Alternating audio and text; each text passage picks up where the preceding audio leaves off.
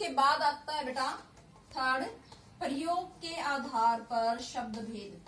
प्रयोग के आधार पर। अब प्रयोग के आधार पर शब्द के दो भेद हैं। कितने भेद हैं? दो। विकारी और अविकारी।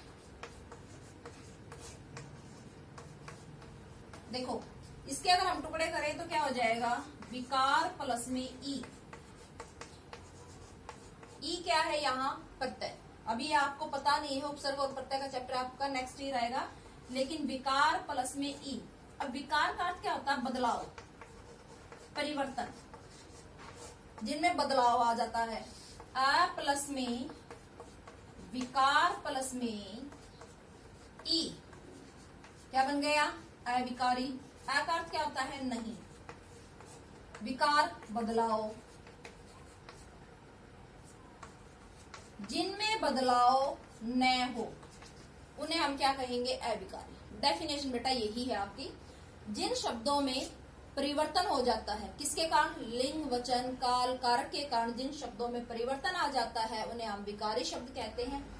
जिन शब्दों में लिंग, वचन, काल, कारक के कारण परिवर्तन नहीं आता, उन्हें हम अविकारी या अव्य शब्द भी कहते हैं। समझ में आ गया जिनमें बदलाव हो जाए, वो विकारी। जिनमें बदलाव नहीं होता, वो क्या है? अविकारी। अब बदलाव किससे होता है? लिंग, वचन, काल और कारक से। जैसे हम लड़का शब्द है। अब हम लड़के का क्या कर देते हैं? लड़के। बदल गया। अगर सेंटेंस हम बनाए कि लड़का खेल रहा है, लड़का खेल रहा है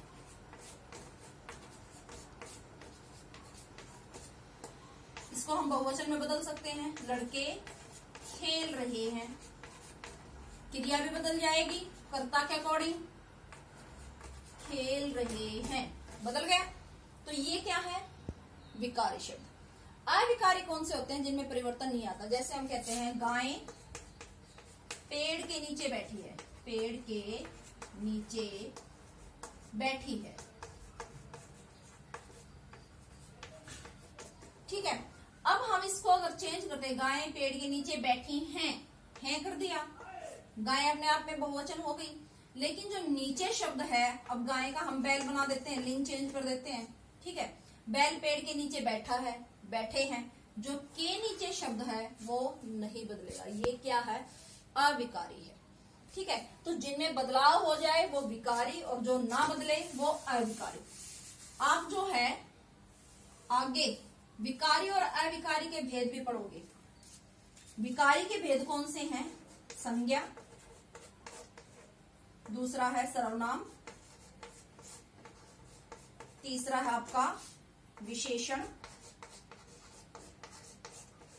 और चौथा है आपका क्रिया।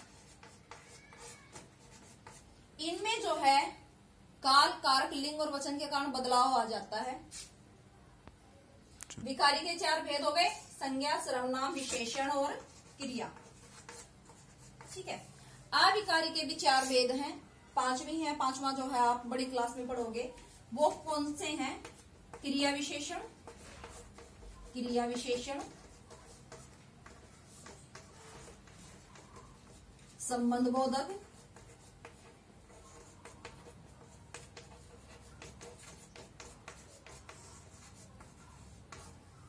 समुच्चय बोधक है